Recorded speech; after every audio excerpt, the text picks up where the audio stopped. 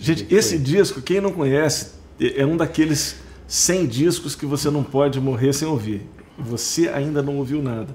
O Sérgio Mendes e. e eu tinha um neto de baixo. É, tinha um neto, você. O, é, o Edson Machado. Edson, bateria, é, Edson Maciel. É. O Maciel, o trombone, trombone e o Raul de Souza. E o Raul de Souza, é. exatamente.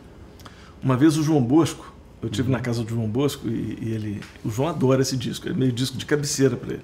Esse disco, assim, tem alguns discos que o João considera top. Claro que todos nós temos a nossa seleçãozinha dos discos que a gente acha.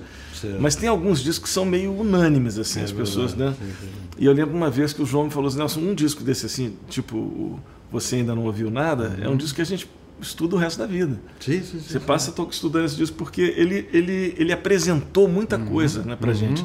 Né? Foi um disco que fez assim, ó, ah, olha aí, rapaziada. É isso, é daqui para frente, é assim que a gente vai fazer. É verdade. Né?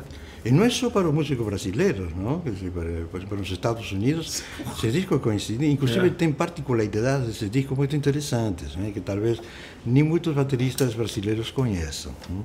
Eu tive a possibilidade de estar em contato com Phil Wood, Uhum. Fui assistir ele tocando numa boate. Eu tinha conhecido ele aqui no Festival de Jazz, em São Paulo, Montreal. Mas eu encontrei com ele lá nos Estados Unidos, em Nova York. E na, quando terminou o show, sentamos numa mesa e tal, então comentando, sabe?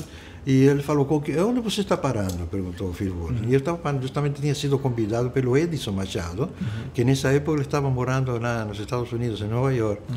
E eu fui convidado pelo...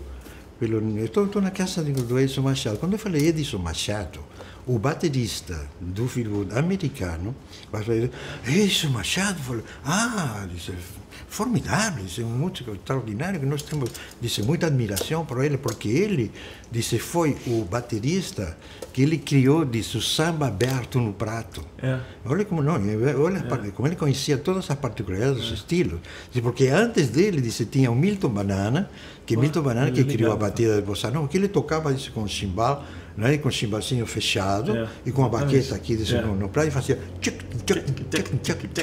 mas tudo fechadinho. É. Aí disse o, o Edson Machado, como gostava muito do Elvin Jones, né?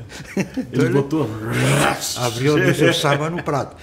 Olha que, que interessante, que curioso que os, até os americanos conhecem dessa particularidade. Eu falei, caramba, eu falei, nem os bateristas brasileiros sabem dessa particularidade. Às, às, às vezes não se, não se apercebem, né? Não se apercebem. Da, né? da, da, riqueza né? das coisas que acontecem, é verdade. É, isso aí então não te cometes pela importância que tem esse disco, não só aqui no Brasil, sino já fora. Né? Um disco muito analisado, muito pesquisado pelos é. americanos também. Não é?